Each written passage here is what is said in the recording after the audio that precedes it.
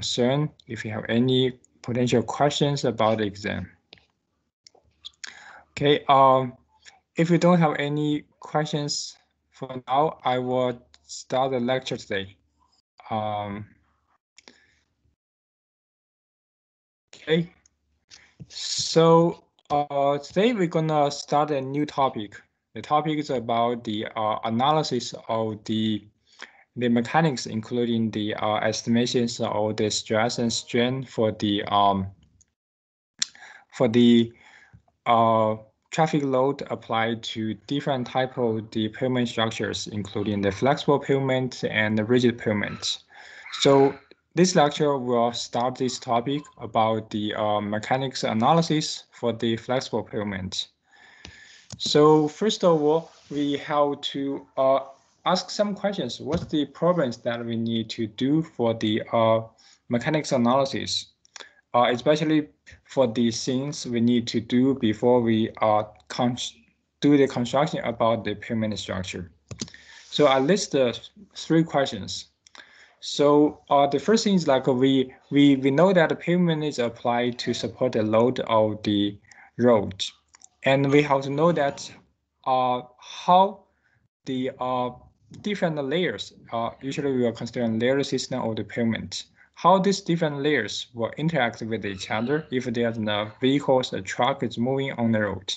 So that's the first thing. And the second thing is like we want to know what's the potential displacement and deformation or the maximum stress applied to the subgrade. This one will be highly related to the distress of the pavement structure if the displacement is too large or the stress is too large, it may cause the failure of the pavement structure.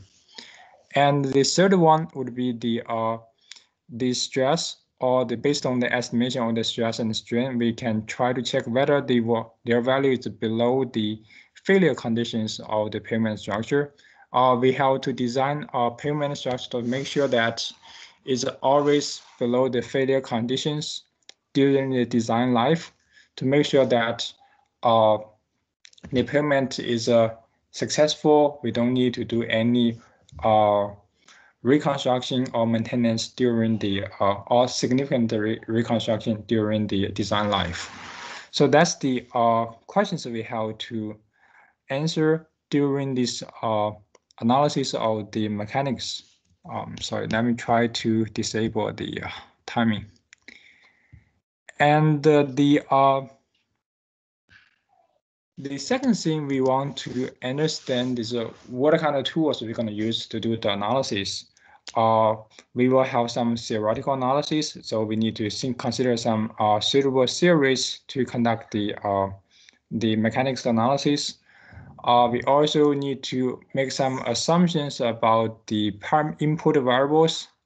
Try to choose the reasonable parameters which can be obtained or measured from the field or from our lab.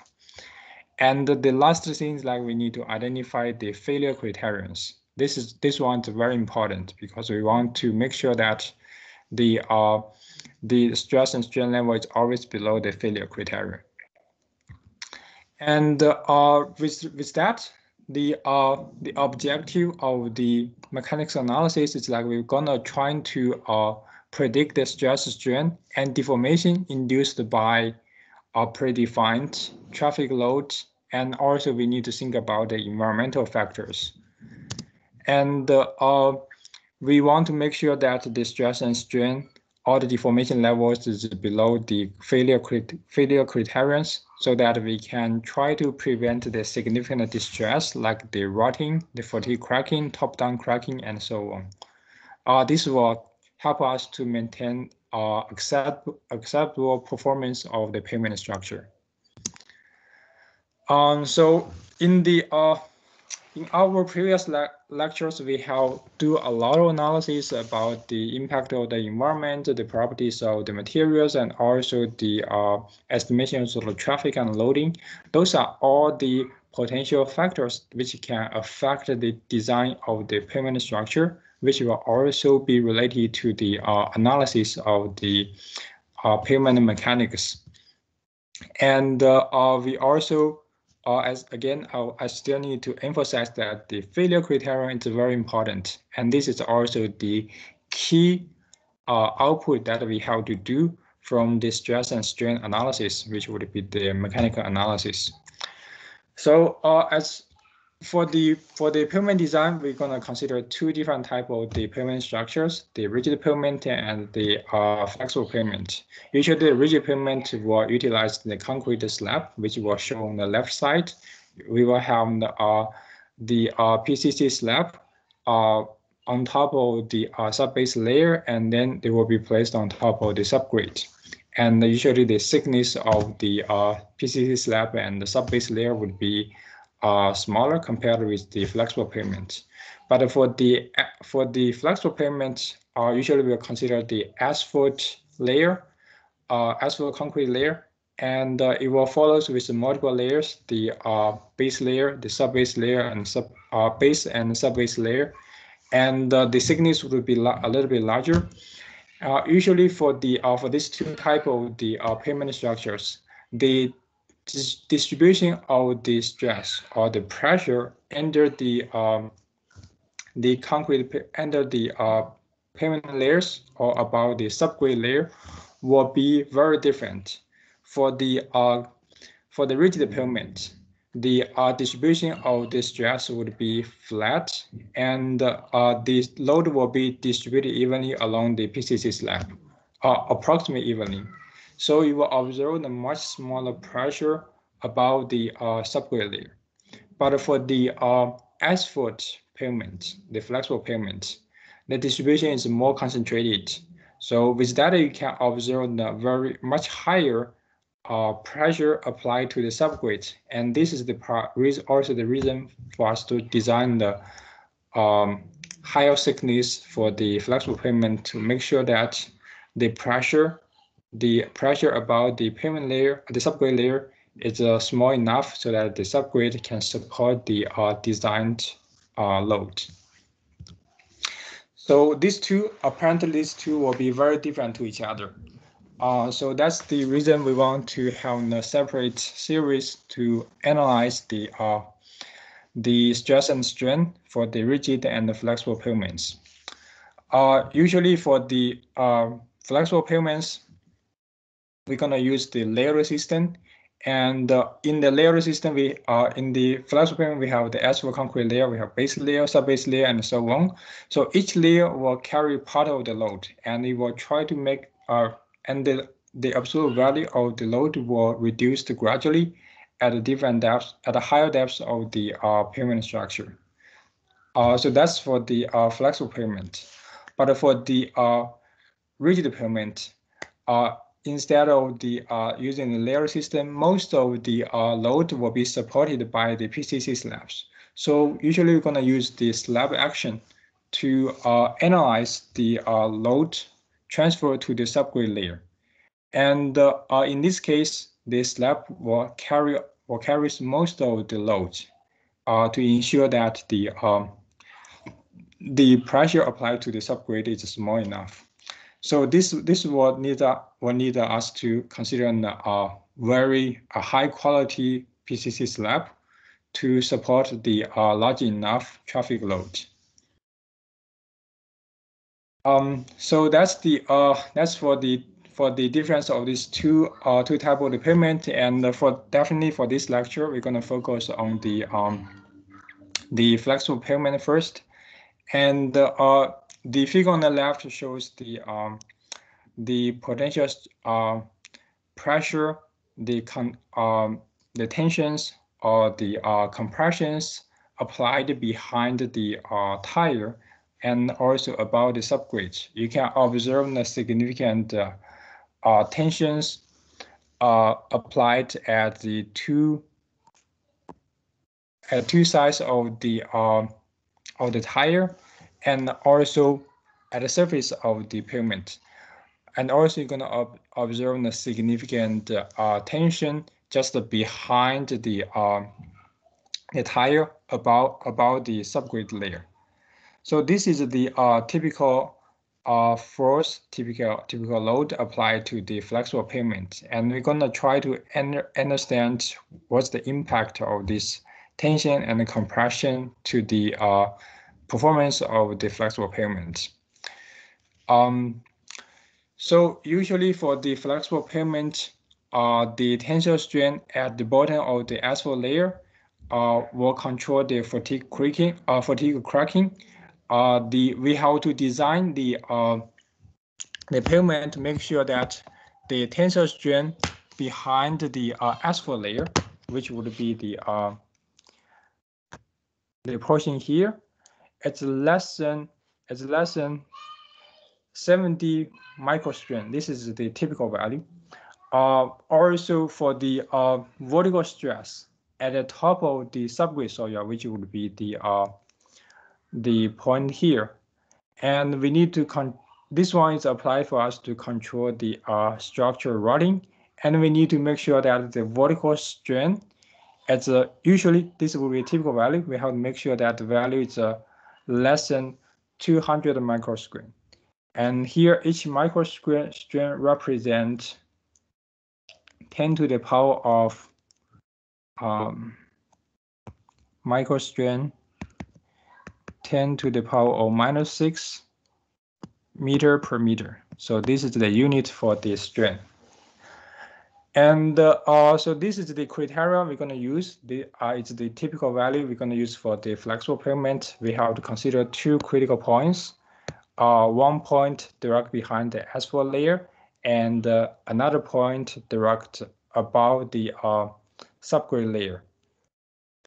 And uh, based on the based on the load applied to the flexible pavement, we can observe some typical distress and uh, the bottom up the bottom up cracking, which is also called the fatigue cracking, is one of the common uh, stress distress applied to the flexible pavement uh, as we're going to observe the very significant uh, tensions at the bottom of the pavement structure. And uh, this this cracking will get started from the uh, from the uh, interface between the pavement structure and subgrade and gets larger and larger and eventually uh, propagate to the uh, surface of the pavement and, and you're going to observe the uh, the cracking. And this one is usually along the uh, the wheel path. But in reality, you will also observe some top-down cracking. Usually that will be uh, next to the wheel path. And uh, this one is very different from the uh, fatigue cracking, or we say that the bottom-up cracking. It will start from, for the top-down cracking, it will start from the surface of the pavement structure and then propagate downward. Uh, the course of the uh, top-down cracking uh, has been well studied, but the uh, the actual reason is not fully understood yet. So we can observe this cracking in the uh in the pavement structure, but we don't know what's the actual what's the uh, dominated cause or factors for the uh, for this type of the distress. Um, so usually for the top-down cracking, the uh, the generally occurs at the uh, only at the very thick asphalt concrete layer uh, with uh, with three to five years of the paving, and uh, they will most of most of them will be the longitudinal cracking. So the width of the crack will be around uh, three to four millimeters. It's not very small cracks, and the uh, the usually the uh, the depth of the crack could be uh well, could varies from 25 millimeters to up to uh, 50 millimeters. So it's also significantly affect the performance of the pavement structure as the cracks will, will be the major source of the uh, surface infiltration to the pavement structure and reduce the, the features of or the properties of materials behind the pavement. Uh, so those would be the uh, some typical crackings uh, or distress applied to the flexible pavement.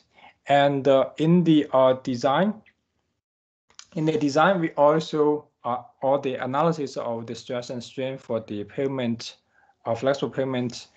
Uh, one of the important input variable is the traffic and the loading. So the traffic we have already uh, uh, learned how to estimate the traffic loadings and volumes in the previous lectures. Uh, we know that the traffic loadings are related to the, uh, it's, it's actually applied to evaluate the vehicle load of the trucks, uh, depending on the number, of the combinations of the axles and the tires. Uh, also, the, usually for the estimation of the traffic loading, we need to consider the tire pressure and also the contact areas to identify the uh, the uh, the actual load uh, or the stress applied to the surface of the pavement structure. And of course, we need to think about the length distributions of the truck, the number of the uh, repetitions, uh, which will be the load applications and uh, their sequence, and also the speed is very important. And uh, the uh, from the uh, from the previous lecture, we can just quickly summarize what we're going to do about the estimation of the traffic loading and volumes. We have the estimations about the uh, load equivalency factor from the single load, single wheel and the single axle, and then we're going to estimate the uh, the load factor, the truck factor for a single truck, for a type for different type of the truck, and then we're going to consider the uh, the uh, traffics, the number of the uh, repetitions over the day, over the designed life, and then eventually we're going to estimate the ESAL, the equivalent single axle load for the pavement that we're going to design. And this would be the information, uh, the ultimate information about the traffic and loading for the design of the pavement structure. And uh, so this is the uh, this the this is how we're going to use the traffic and loading in the pavement design and it's one of the more important factor for the uh, stress and strain analysis. And uh, um, for the uh, single wheel load, uh, especially for the stress and strain analysis, we need to think about the um, the contact pressures. Usually, the contact pressure of the uh, tire will be uh, equal to the inflation pressure. That that will be the inflation tire from the tire. And uh, we to simplify the analysis, we assume that the uh, the pressure the pressure is uh, uniformly distributed uh, in the contact area, and that's the uh, that's the first assumption. And the second assumption, we will assume that the uh, we have some assumptions about the shape of the loaded area or the contact area. Uh, we have two different assumptions uh, we could either assume that the contact area is circular uh, or could be the rectangular. Usually we will assume that the uh, for the flexible pavement, the, the loaded area or the contact area is circular. But for the rigid pavement, it's uh, usually assumed to be in the rectangular. So that that will be the assumptions about the uh, the pressure, the, the loading pressure, and the area. And uh, here we will have some uh, formulas for us for you to calculate the uh, the the loading pressure with respect to the uh, the wheel load. Uh, for for example, for the uh, for the figure on the left, it shows the um, the load pressure with respect to the flexible pavement. And we know that generally there is an uh, if we are provided with the uh, the uh, wheel load, say that the the actual load applied to the tire, and also the uh, infiltration or the infiltration, infil uh, inflation pressure or the uh, tire pressure Q. Then you can calculate the contact area as A equal to P divided by Q. This is the uh, definition. This actually comes from the definition of the uh, pressure. And uh, as you as you will see that the uh, for the flexible pavement, uh, the contact pressure contact area is usually assumed to be in a, uh, a circle. So if the uh, radius is set as a, then the area is pi times a square. With that, you can estimate the uh, contact radius a equal to the square root of p divided by pi times q. Uh, so this is the uh, the flexible pavement. But if we are talking about the rigid pavement, uh, the contact area is in the uh, rectangle. And we actually have um, a special uh, ratio between the width and the uh, length of the of this rectangle. usually for the um, for the for the uh, length the of this rectangle is set as 0.8712L uh, compared with the uh, the width of 0.6L. So the ratio is 0.87 point, uh, 0.8712 um, versus 0. Uh, 0.6. And of course, the area would be uh, 0.6L times 0.8712L.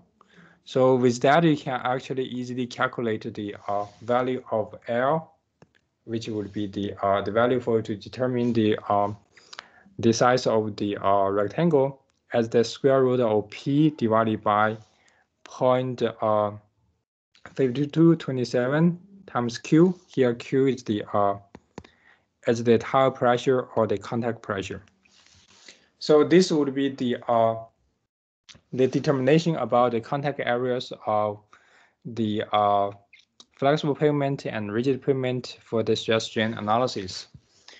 And uh, of course, we made a lot of assumptions like the for the circle contact area, for the uh, rectangle contact area, for the contact pressure equal to tire, tire pressure. Those are all the assumptions we have to make for the stress and strain analysis.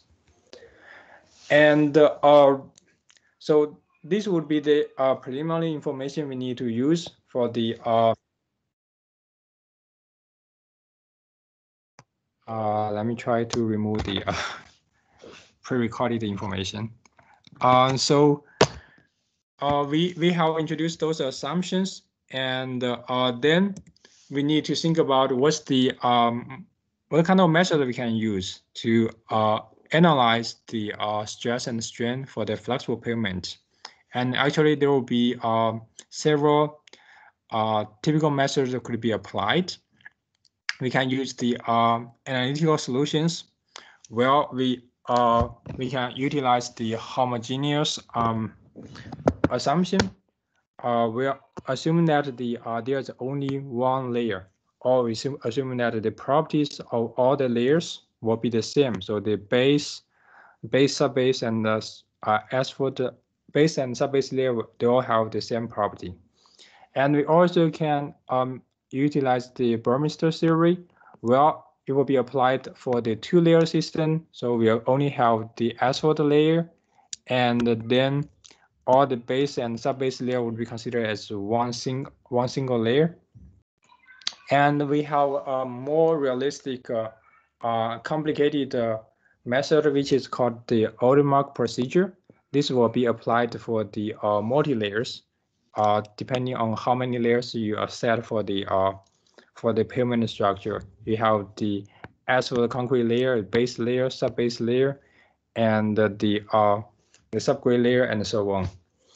And also, uh, we can utilize we can also utilize some uh, softwares to do the estimation, the which is called the CANPAVE and uh, I'm going to introduce you how to use the uh, CANPAVE to uh, estimate the uh, stress and strain for the flexible and rigid pavement uh, later after this chapter.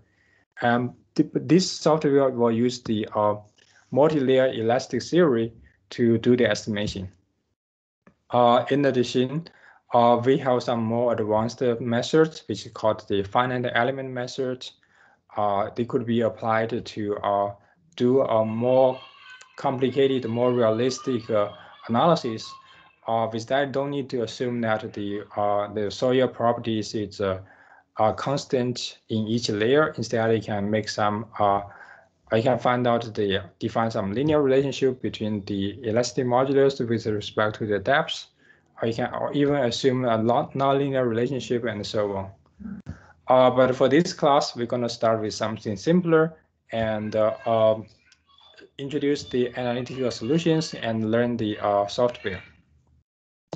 So uh, let's first go to check the uh, the some uh, assumptions that we're going to use for the um, for the flexible stress strain analysis, and uh, especially uh, we we have to consider the analysis with respect to the multi-layer system. So this is called the multi-layer elastic theory. And uh, at the uh, for to implement this theory, we first need to assume that each layer will have the homogeneous and uh, isotropic properties, which means that the uh, the properties of the materials will be exactly the same in each layer. If we if we are talking about the modulus of elasticity, they should be the same. If you're talking about Poisson's ratio in the same layer, in the base layer, they should be the same. And uh, that's the first assumption. Uh, this would mean that we will have we only have one modulus of elasticity for one layer, and uh, but you can assume different values of the uh, modulus of elasticity. Uh, E1, E2 for two layers, you have E3, E4, and for the Poisson's ratio it could also be different. And that's the uh, first thing. And the second thing, we have to assume that the subgrade is semi-infinite. We know uh, where the what's the uh, depth of the surface of the subgrade, but uh, uh, for the subgrade, uh, it's a semi-infinite, so we don't know where the bottom of the uh, subgrade is. And for all the other pavement layers, the base layer, subbase layer, asphalt layer, their thickness are all finite. We know their thickness. But for the lateral dimensions, we don't know. We uh, we just assume that the uh, the their width would be infinite, or their their long, including the longitudinal and lateral uh, width, they could all be infinite. And uh, in addition, we will assume that there's uh, four frictions between each uh, between two layers, so that the load and the shear shear force uh, applied from the uh, from one layer from to the layer behind can be uh, transferred, can be fully transferred.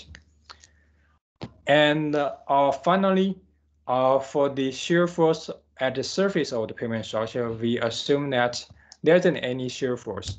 Uh, this we will only have the low, uh, the vertical, uh, vertical stress or vertical loading applied to the surface from the surface of the pavement structure and we're going to ignore the shear force.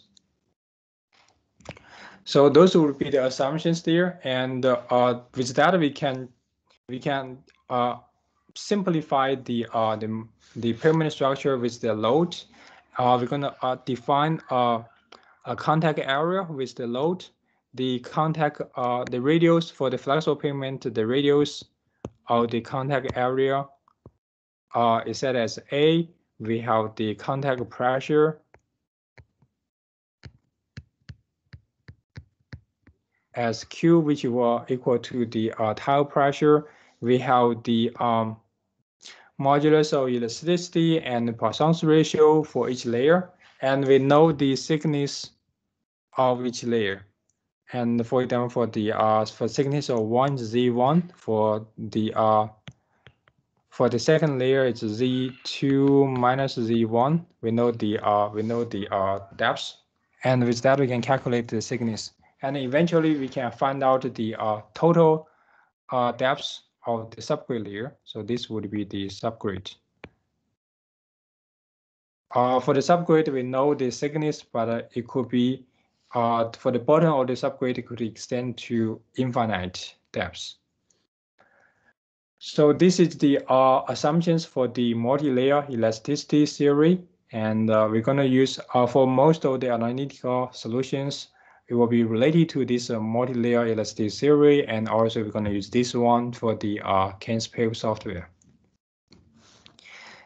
And uh, um, so with that, we can uh, we can actually find out the relationship between the stress and the strain for any points behind the uh, in the pavement structure with respect to the uh, to the contact areas of the uh, the tire. And uh, the uh, the multi-layer elastic theory actually defines the stress-strain relationship for three uh, for three type of the strains. The vertical strain, which would be the uh, epsilon z, will be related to uh, will equal to 1 divided by E times uh, sigma z minus uh, mu times uh, sigma r plus sigma t. So this is about the vertical strain. You can also find out the radial strain and uh, tangential strain. Uh, those will all be related by the uh, three different type of the stress: the vertical stress, the tangential, uh, the radial stress, and tangential stress. In this in this in this figure, uh, sigma z. This would be the vertical vertical stress. And uh, this one, sigma t, this one is the tangential stress.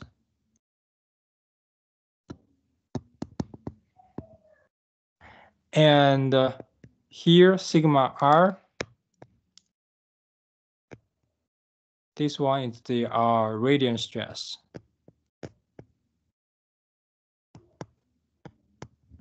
And also you can find out the uh, shear stress. This is a uh, tau RZ is the shear stress.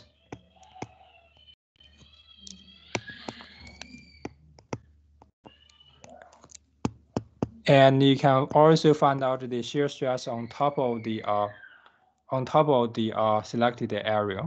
So this is a, uh, sigma z uh, ZR, uh, tau ZR, and moreover, you can find uh, you can find out uh, utilize those information to uh, once you calculate the uh, vertical stress, radial stress, and tangential stress, you can find out their strain values with the uh, with these three formulas, and uh, uh we will also have the the multi-layer elastic elasticity will be able to help you find out the um, the stress, uh, including the vertical radial and the tangential stress and the shear stress at any point uh, in the pavement structure, assuming that we have a point A here. Um, the depth, the depth of the uh, point A is Z and the distance from point A to the center line to the center line of the tire could be R set as R. With the uh, multi-layer elasticity theory, we are able to find out the uh, the stresses and the uh, strain at the at the point A, given the depth and the distance to the center line. Uh, another thing we have to know about the multi-layer elasticity series, like uh, in this in this theory, we actually need to use the modulus elasticity, and uh, this is actually in the property of the material. But in in our lab, we will usually utilize the uh, MR test to find out the uh, resilient modulus. And you might be familiar about this uh, equation. This is the one that we're going to use to find out the relationship between the resilient modulus with respect to the bulk stress and deviator stress. Uh, in uh, in the uh, the the the res resilient modulus is usually usually in the uh, empirical value about the soil property, and it could be applied to represent the uh, the value of the uh, elast elastic modulus. So in the uh, in the multi-layer elasticity theory, usually we assume that the um, the value of E will be the same to the MR. So this is just one simplification.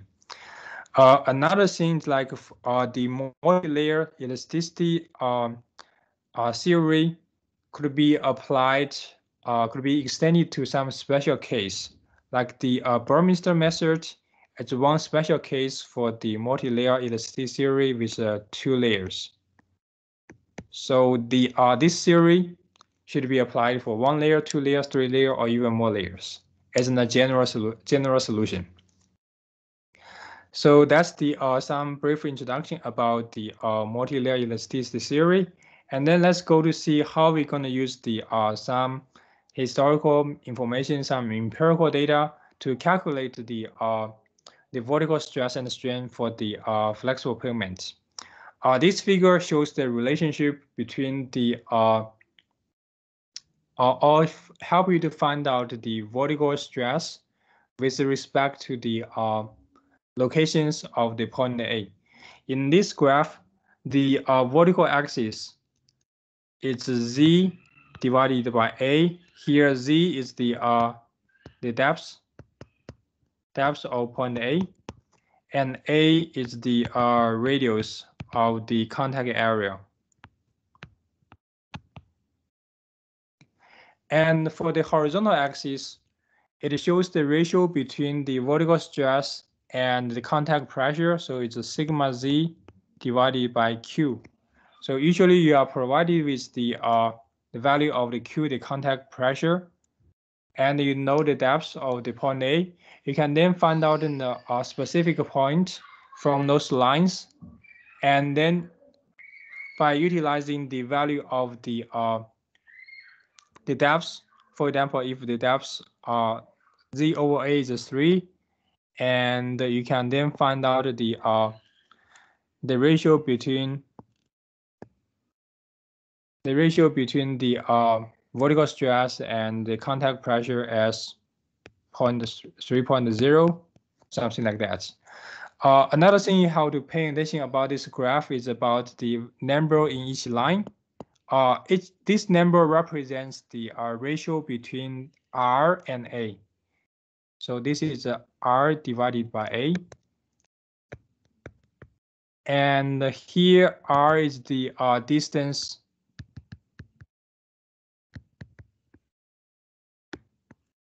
It's the distance uh, from point A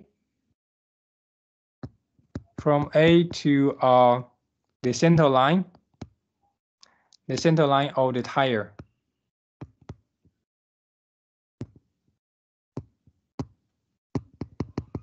Or the center line of the contact area. So, uh, so with that, with this value, R over A, you can determine which line you're going to use. And then with the depth, you can identify which point in that line you're going to use. And then you can find out the value of sigma z divided by q. And uh, usually the q value is given uh, with that, you can find out the vertical stress. Uh, similarly, you can do the uh, you can find out the relationship between the uh, the depths and the uh, the ratio between the uh, radial stress. Uh, this is the radial stress and the contact pressure. And again, for the uh, for each line, it will be the value. It will be the result from one um, ratio of the distance to the center line versus with respect to the uh, radius of the contact area. And the uh, at last, you will have the uh, figure. We will have the figure to show the relationship between the depths and the uh, ratio between the tangent, tangential pressure and the contact pressure. So uh, here this is for the uh, tangential pressure, tangential stress. And the uh, the line will be the same. It will represent the uh, the ratio of the distance to the center line and the radius. And another thing I want to uh, inform is showing you the relationship between the uh, depths and the uh, shear stress here is the uh, sigma RZ is the uh, shear stress applied to the point A. And usually we assume that the shear R the shear stress sigma RZ equals to the shear stress uh, RT and the shear stress are TZ. Or you just need one one figure to find out all the different shear stress. Oh, this should be the shear stress uh, not sigma, it's delta. Uh, it's tau, sorry. Uh, tau RZ uh, could be determined by this graph, and in this graph, each line represents the uh, the ratio between R and A. This would be the same to the others uh, three figures. And uh, another thing last thing that I want to uh, introduce here is the uh, relationship between the uh, shows the deflection the deflection applied at the point A with respect to the depth. So here F is in the deflection factor. Uh, this one will with the F we can find out the vertical deflection. Vertical deflection uh, vertical deflection omega equal equal to q times a divided by e times f. So f is the deflection factor and omega is the vertical deflection. It shows the displacement at point A. And uh, again, the vertical axis is still the depth and the uh, horizontal uh, the each line will be the ratio of RNA, and the horizontal axis, uh, you can find out the uh, deflection factor F.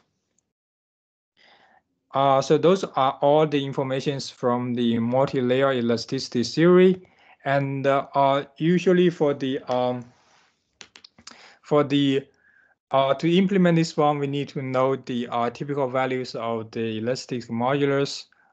This table shows some typical values for the uh, Portland cement concrete, uh, this one will usually given a very large modulus of elasticity.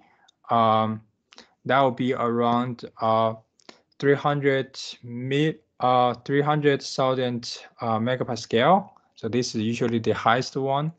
And uh, the asphalt concrete can give you the value around 3,000 to 4.5 thousand uh, for the cement uh, cement based uh, cement bond based is around 15,000 and you can find out the other values usually for if you have the uh, sub uh, sub base or subgrade with the silt soil or clay soil you can find out the value to the uh, very small.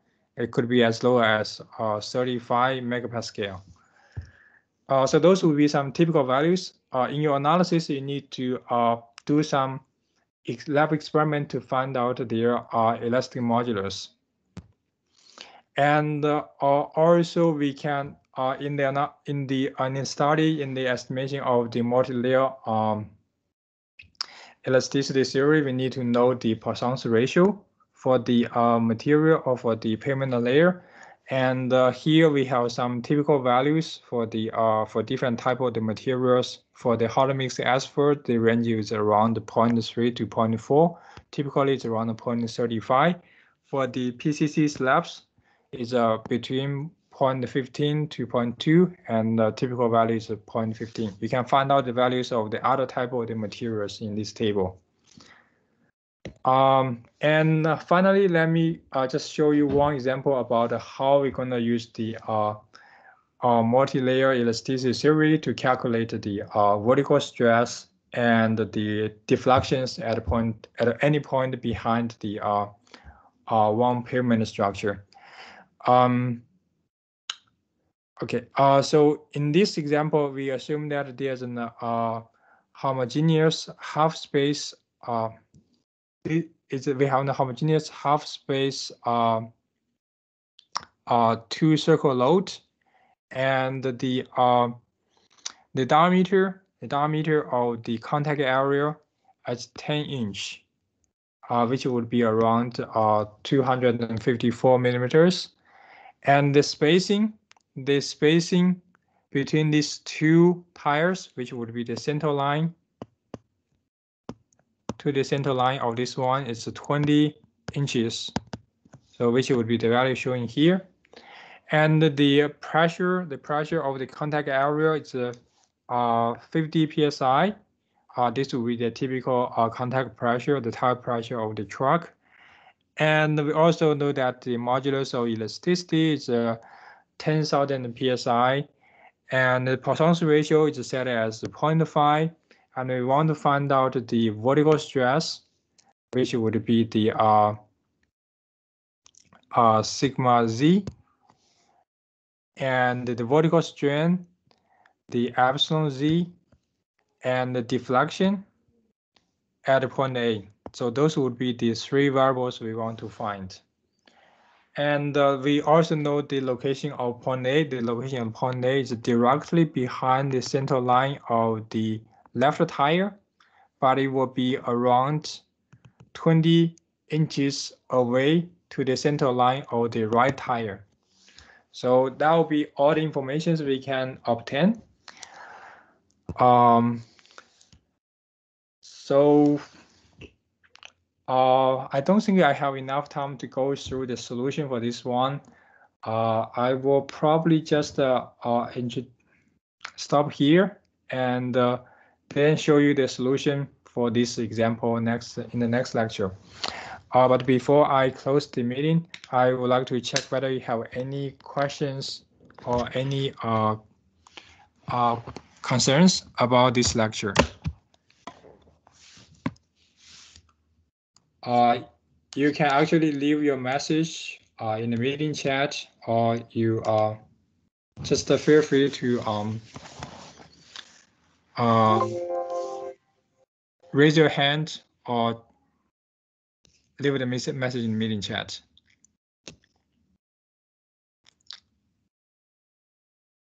Okay, uh, if no, then that will be probably all about meeting today. And uh, in the next lecture, uh, I will um, I will provide another um, another in-class questions, which will be the uh, uh, the topic with respect to the um, the uh, traffic loading and uh, volume measurement, and uh, it will be definitely will be assigned at the end of the uh, lecture on Wednesday.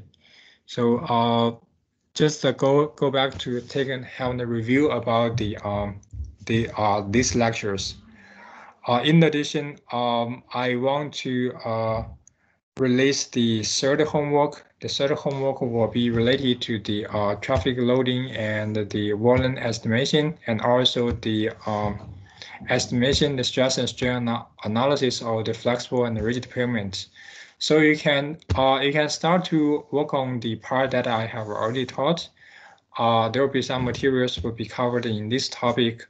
Uh, the deadline is uh, as next sometime next week, Wednesday. I cannot remember. Uh, you you you can you will have you will you will get more details from the uh from the Avenue to Learn.